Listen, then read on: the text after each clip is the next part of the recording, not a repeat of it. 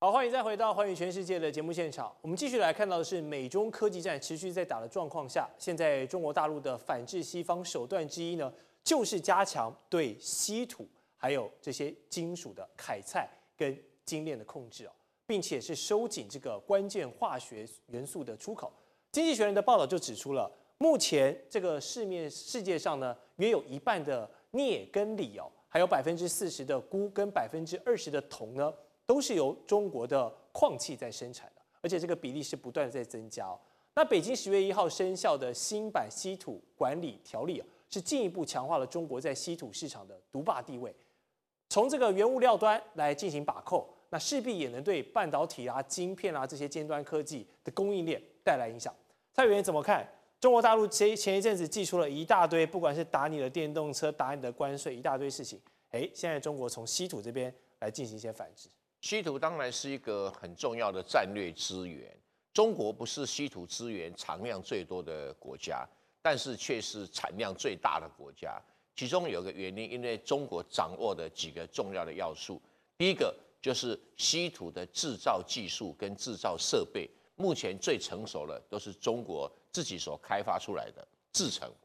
第二个呢？因为稀土的一个制造生产需要很庞大的电力，刚好中国在生产稀土的地方电力不是问题。第三个，做稀土的生产要有一个降低成本，就要你要在很干燥的地方。那中国刚好不管是在江西比较高的地方，或者内蒙古啊，它都相对的比较干燥，所以它的制造的效率、良率跟产能啊，能够很很大的这个一个扩展。那精炼出来的稀土才有用啊，平常稀土没有用啊。对，这个差别在这里。所以为什么中国的产能会这么大？呃，可是它的藏呃库藏量并不多，蕴藏量并不多。那中国用稀土来作为一种战略的筹码，这是正确的。但是我们不宜把它夸大，因为其中比如说在制造长征火箭的这种增速剂啦，或者半导体元件里面啊，有一个很重要的元素啊，叫氦。那害中国是百分之九十依赖进口，而其中呢最大部分是卡达，可是控制在美国的公司手上，所以这里面都互相卡脖子是会，所以等于是一个互相谈判。那中国当然也要摆脱这种被卡脖子，自己要从煤炭里面去提炼氦。那目前已经初步技术上成功，但是在经济效能上还没到达那个可行的规模，所以基目前来讲啊，还是要依赖这个外国进口。但至少有个好处，以前几乎百分之五十以上依赖美国，现在降了百分之五。可是另外一方面又增加了进口量，里面将近百分之八十是从卡达啊，一部分从阿尔及利亚。那现在刚刚也开始从俄罗斯，因为运送这个氦的东西，除了用船，以外用管线，俄罗斯没办法用船运啊，那又没有特殊的管线来运啊，所以目前正在开发的俄罗斯运氦。那如果氦能够自主的话，那中国就可以使得稀土的战略谈判筹码的价位更高。换句话说，这种稀有的东西，啊谈判就是说我有几种可以卡你，可是千万不要我有几种被你卡到了，那这个都是你的相互的运作的效能就会降低。所以目前稀土的战略资源对中国是很好的谈判筹码，但是不是如大家所想象的那么好的谈判筹码。这样子。确实要从更多的角度去做这件事情的规划。好，还有一个消息是哦，美国的地质调查局对外发布了一个讯息，就是他们最近在美国的阿肯色州发现了价值高达一千五百亿美元的锂矿，这个储量是介于五百万到一千九百万吨之间。这个数字呢，足以供应二零三零年全球汽车锂电池所需要分量的九倍之多。好，家里有矿固然很好，然而锂啊，需要精炼的设施啊。那现在大多集中在中国，这个红色供应链是很难被撼动的。那发现这个锂矿的蕴藏对美国而言呢，还是多了一份自主的选择。但如果他们接下来想要建设这种一条龙的产业链，就像刚才我们委员说的，减少你被别人卡脖子的这些筹码，那他们自己要跳下来做的话，要面对哪些难题？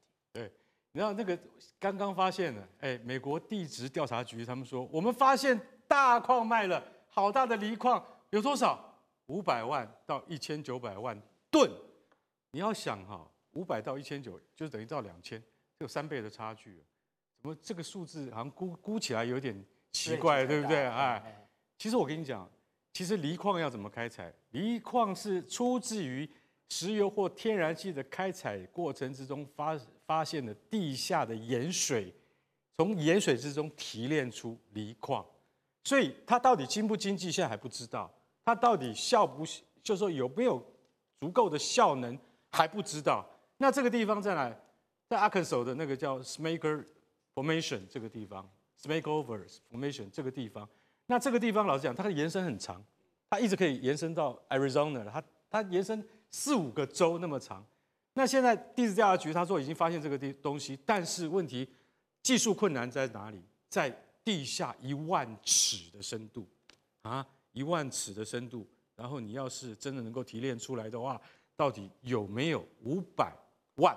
到一千九百万吨的能力，可以提供从现在开始，从今天开始起算到二零三零年底，六年对不对？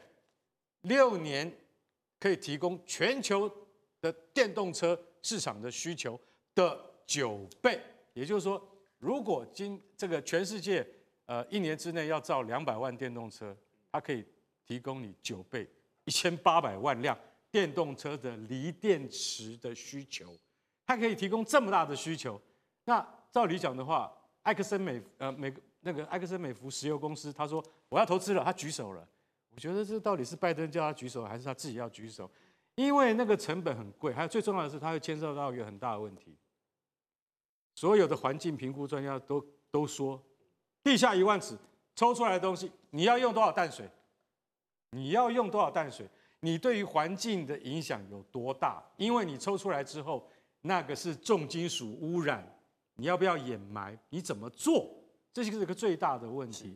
所以其实话是这样讲，那么美国地质调查局他就会这样子讲。我觉得说是一个好像是在就是说选前放出一个利多的消息，但是能不能成功还是另外一个问题。因为现在离的全球产量，智利是全球三成，那是最大的啊。那啊澳洲是两成，中国是一成，中国也有一成呢。中中国它产量为什么没有那没有那么大？你知道吗？因为它就就进口啊，每年进口六百亿美元的锂，干嘛？精炼。所以美国七成的锂电池要靠中国大陆进口。所以你就晓得说，在这种情况底下，美国它放出这个讯息，就是告诉你说，我们中国有了啊不，我们美国已经有这个矿矿脉了，所以说将来我们可以减少对于。中国的依赖真的是这样吗？我实在是很怀疑，因为我觉得那个矿脉真的要开发的话，恐怕还要数年跟十多年之久。你现在还是必须依靠中国的精炼锂矿，所以电动车的市场还是不会有太大的变化。了解，好，就算家里有矿哦，你要能去开采，然后衍生出后续这样一连串的产业，其实也是要做出很多的评估跟这些资源的投入啊。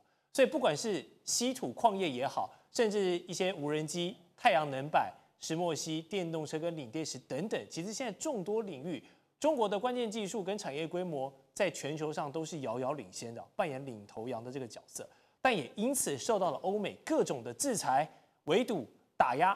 那最好用的理由就是把国安拿出来嘛，只要一卡到国安，就直接把你给打死了这样子。那会不会给人一种哦，以国安之名行打压之实的？观感，李老师认为这对于市场机制跟产业会有什么样的不良影响？哦，我觉得当然哦，就是说这个中国的稀土会让美国觉得说，你是不是特别通过了一些法规之后管制之后，你是不是想把他们我们现在最流行的一个字叫武器化嘛，weaponization。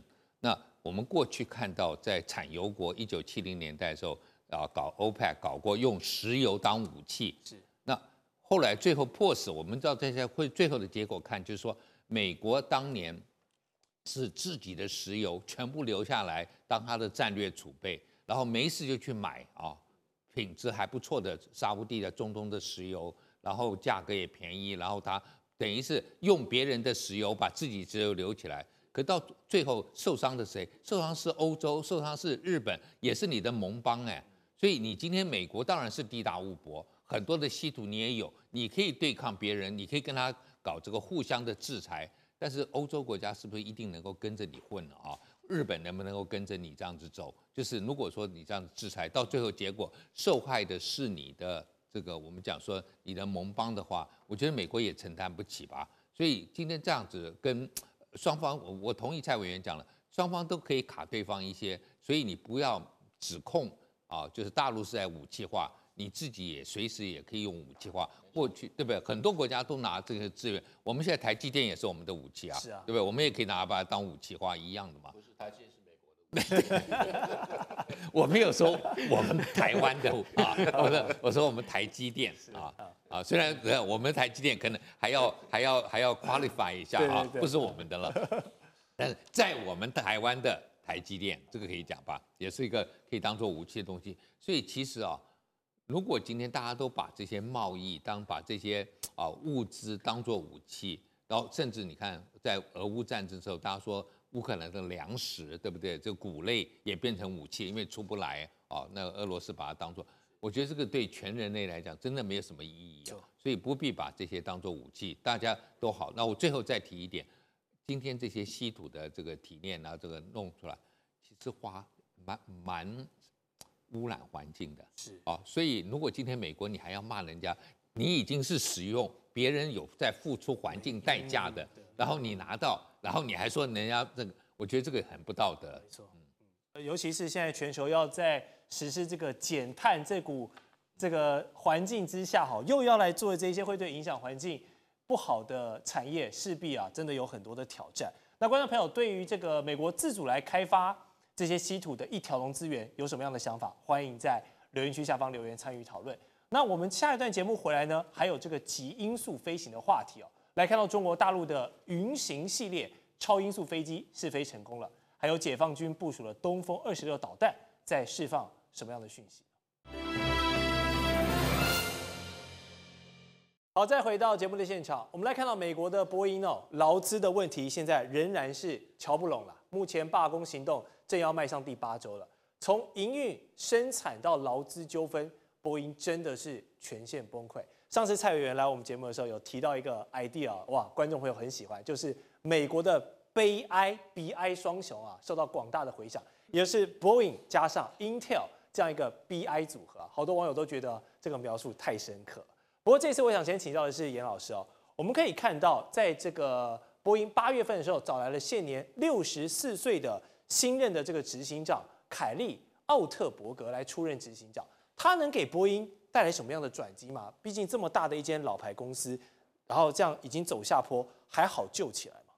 哦，我觉得第一个啊，就是他是工程师师出身，而且就是我们知道过去啊，我有很多的朋友在波音工作，在西雅图啊，就是波音他们是有那种在这个企业工作上面的那种啊自信也好，或者说一种感觉上非常骄骄傲，说我这个公司就是引领这样美国的航太工业，结果你发现来的后来来的这些 CEO。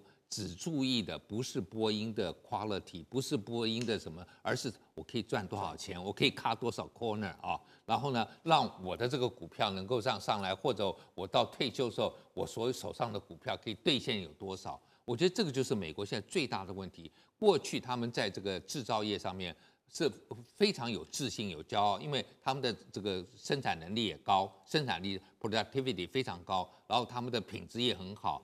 可是，当你碰到这一些都不是工程师出身的人来来来负责当 CEO 的时候，只看利润，那我觉得这个都这个公司现在就很危险。那我不知道今天凯利上进来之后，他到底能不能够把这样的一个过去的这种精神啊，就像我们在台湾，我们常最爱讲就是中钢啊，过去中钢的这种精神，对不对？一样的嘛，就是当你一个公司。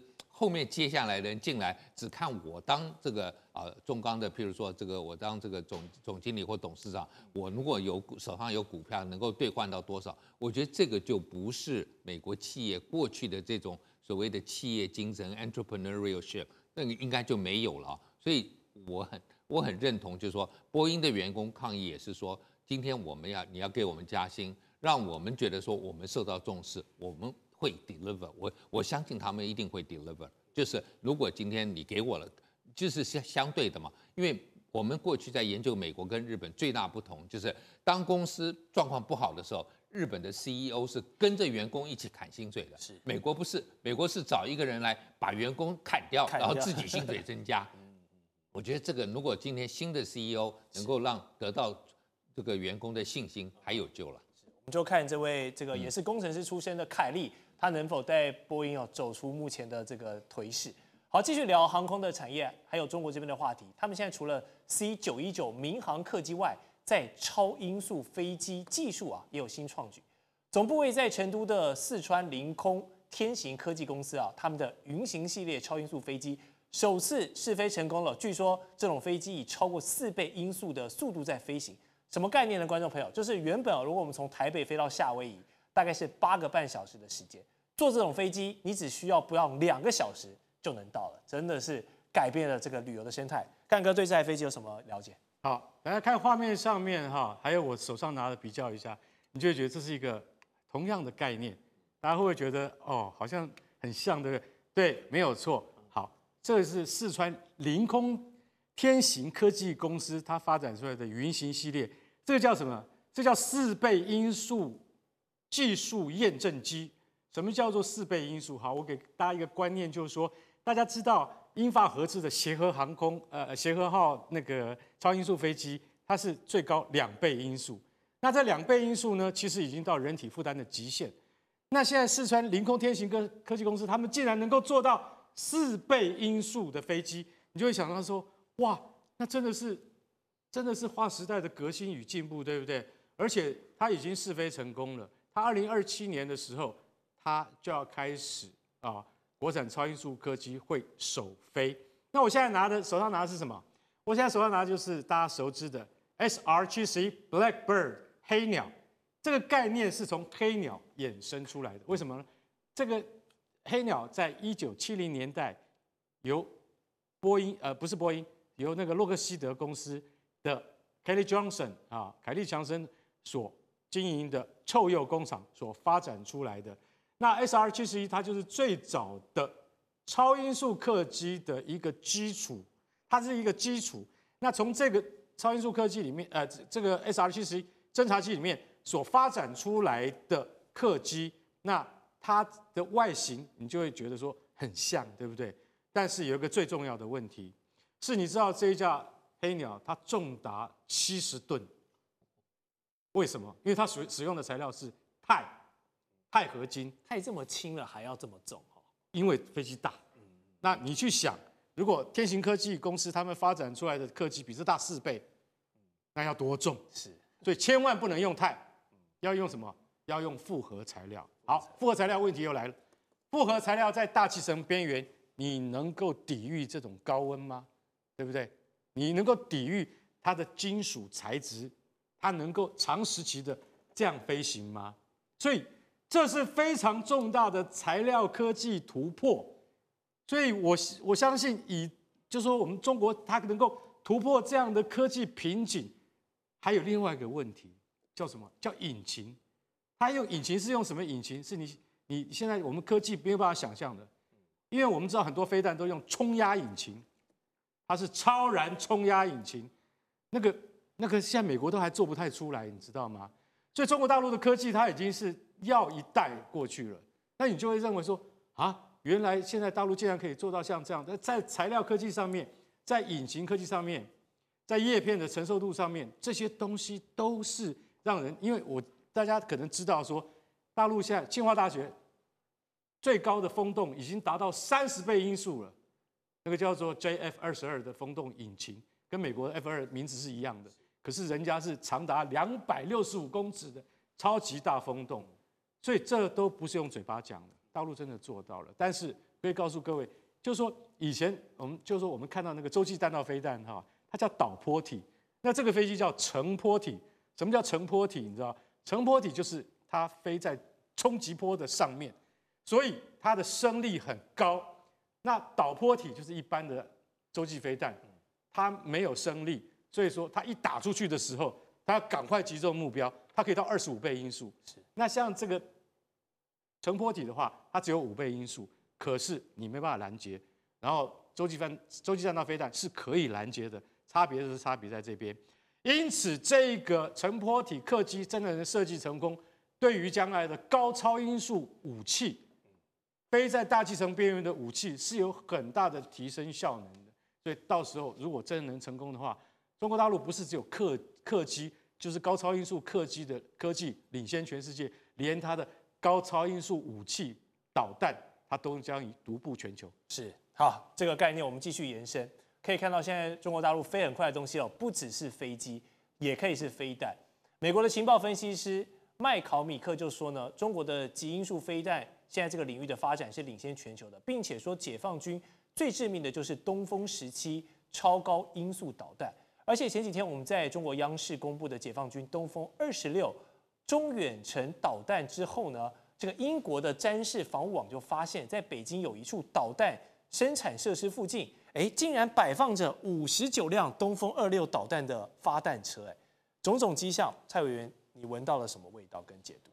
东风二十六导弹是一种中远程的高超音速导弹，它有一个很大的特征。就是说，它可以打移动目标。什么叫移动目标？就是航空母舰。如果以它的射程啊，最长可以到四千五百公里，这代表什么含义？代表是美国航空母舰如果离开关岛要进入西太平洋的时候，那这一条命大概就没了。是，因为它就专门在打航空母舰上锁定。对，而且它的速度是十八马赫。刚才那个刚才华干兄说。风洞三十马赫，它最高发起始速度就是十八马赫到二十五马赫，哦，这个根本没办法拦截，因为它已经超过了什么主动就向源雷达的一个最高的扫描的速度范围了哦，所以要拦截这个实在太难了。那他说有摆个五十九辆这个所谓的东风二十六导弹，就表示它可以什么样饱和攻击啊？那你美国在西太平洋顶多。在日本有一艘航空母舰，然后在加州顶多有两艘航空母舰，你就全来吧。五十九没够了吧？啊，五十九没够了，所以也表示说，美国航空母舰要到了西太平洋哦，要跟解放军对垒的时候，它碰不到解放军的航空母舰，就已经面对很大的损伤的可能性。是。那至于东风十七啊，它的等于是第二波的防卫线，它的防卫线说。你好，你能够离开关岛接近了，然后东风十七更难缠，它是标准的。刚才华刚讲乘波底导弹，对，它乘波底导弹的特色什么？飞得更高，它不是抛物线的，它丢到了所谓我们叫 near space，就是在这种外太空跟那个一般的这个大气层中间上去了以后，它就关掉引擎。那关掉引擎的时候，它是用一种惯性的一个速度啊。在滑翔，滑翔的时候，它上面带有一种火箭，可以横向移动，所以横向移动就变成你要瞄准目标就变得特别困难，你无法计算它的弹道，所以它当你在第二的封锁的时间的位置就在哪，在一千五百公里到两千公里，也就是说，解放军有两道攻击线，一个是四千五百公里，好，你就算哎有一艘穿过了突破了，对不起，还有一个两千五百公里乘坡底等着你来。嗯这个是最麻烦的事情。那事实上啊，它还有一个五百公里等着你，所以它有三道关卡等着你，对等着你呀。所以你说有第一导弹、第二导弹，解放军是有三道。